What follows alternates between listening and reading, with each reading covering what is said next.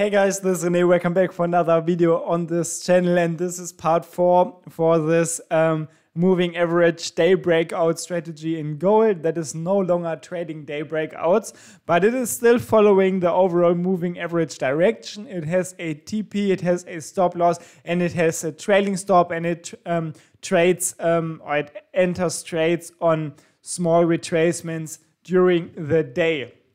And now a lot of you guys also like to have a good oscillator as a filter. So what I want to do in this video is add another indicator as a filter. And this might be the last video then for, for the series because then you kind of know how to modify the program on your own and you can add more filters, more trailing stops, more whatever you want. then you pretty much have all the basics and the the concept or the, the base build that you need to um, create your own fully functioning strategy based on this. So yeah, here you saw how the program works so far. Trades maximum one trade per day. If there's a retracement in or against the trend direction, then we enter in the trend direction. We have a TPSL and trailing stop loss. And now I also want to add another filter, which is a oscillator. I think I will just go with a single, a simple uh, RSI.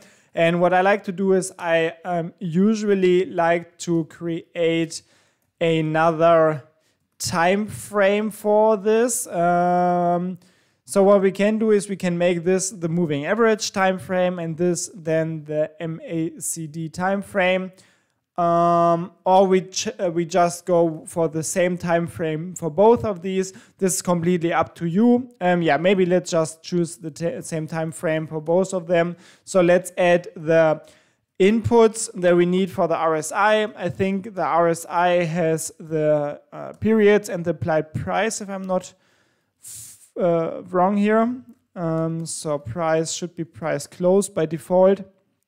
And then, of course, since we, since we want to work with another indicator, we will need to create another handle for this and um, initialize this handle variable with a actual value. This is usually done in the on init function. So use the iRSI function this time. Then we have the RSI periods and the RSI applied price. And yeah, if you compile this, there shouldn't be any errors. And now we can use this handle here in our onTick function to get the actual RSI values. Mm, so what I want to do is here, I want to create another variable. Has to be an array, of course, even though I think I will just use one um, index of this array. The RSI only has one line. And if we do it like this, we will copy the last um, daily bar, the value for the last daily bar in this RSI array here. So now what we want to do is, oh, also what we can do is as a input parameter, what I usually like to do is create RSI upper level um, and lower level as inputs. So the user is also able to easily change these quickly. And then in the program, before we open the trades, after uh, checking the moving average, for example, we can check if RSI, oh no, this was not correct, if close, oh no, this was right, sorry, I'm confused here, if RSI, um, if the RSI value is um, for buy positions, we want to check if it's below the RSI lower value. And yeah, in this case, we then uh, want to check for the retracement and for um, for, for, for sell positions, we want to check if the RSI at the last bar is above the RSI upper level. And then, of course, we have to rearrange the if statements here a bit because we just added another if statement. But yeah, if we add it like this, we should now see that if we do another test, um, we do have the RSI. Also, first of all, in the inputs, we now have all the uh, input variables here for the RSI, of course. I won't change anything else. I'm still just checking 2023 to 2024 for gold using this uh, same strategy in the visual mode. And I'm using the every tick based on real tick calculation method, even though the ticks are essentially like not super important because in the code I added um, uh, this block here, which means that it's only calculated once at the beginning of every one minute bar. But yeah, so yeah, let's see what, what, what this brings to us. So um, let's go to the daily chart. So we can now see here, we do have this uh, RSI now, and we do see the, the first trades here are left out already. So we will see a lot less trades, of course. Uh, the question is, will we even see any trades?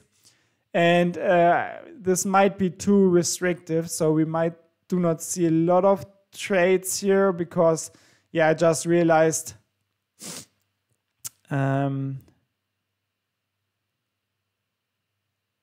that the RSI and the moving average are kind of in line a lot of the times. So what we can do is we can, yeah, we can work with different uh, time periods. Yeah, this is maybe something I want to do here. This this might make sense. So let's go down with the time period for the um, for the for the RSI. So what I do is I rename this MA MA time frame, and then I will create another input here, which I name RSI time frame. So now we have two different uh, time frames here, and we could make the RSI the four-hour RSI uh, chart.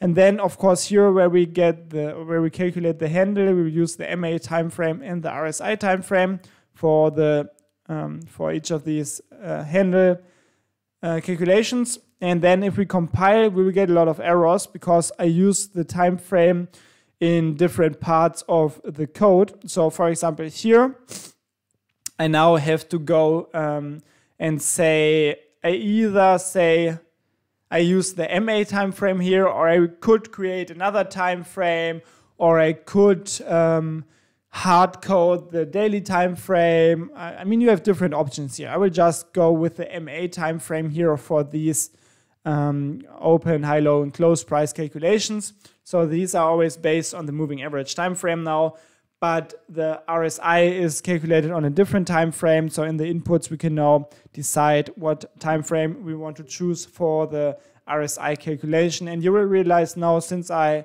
um, or if I start another test, we should see a additional chart window here because usually the tester yeah, is smart enough to realize which time frames are used in this specific test. So you can see now we do have the um, four hour chart here also. So we see the RSI in the four hour chart. We see the moving average in the daily chart. And uh, we, uh, we still have the one minute chart because it's the base time frame that I used for this test. And now we can see if, um, yeah, maybe we can get a trade here. So yeah, you can see here, I think this will generate a trade because RSI is uh, below the 30 uh, level here and we see a uh, decline in price and also the, the, the, price is above the moving average, I think. So let's go through the time frame. So you can see here on the one minute time frame, we of course see the trade with the TP and the stop loss. Then on the daily time frame, we see we are still above the moving average. Also, this candle is very negative, so we do see the minus 0.5% uh, minimum uh, retracement. And then here we can see on the um, on this uh, um, RSI four hour chart here, we see the RSI drop below 30. So yeah, I don't know if this is actually beneficial for the strategy, but it's, it's, something you can try out when developing new strategies. Just adding some more filters. This could be good, could be bad. I mean, you never know it until you try it, but I just want to give you some tools so you know how you can um, yeah, build your own strategies. And as I said, you can play around with the time frames, with the general inputs. You can also, of course, add more and more um, filters to the strategy if you think it's it's it's needed. So yeah, that's it. Let me know what you think. Let me know what you want to see next, and um, yeah, have fun playing around with this template for this strategy. And that's it. I'm out. Have a good time. Good trades. Bye bye.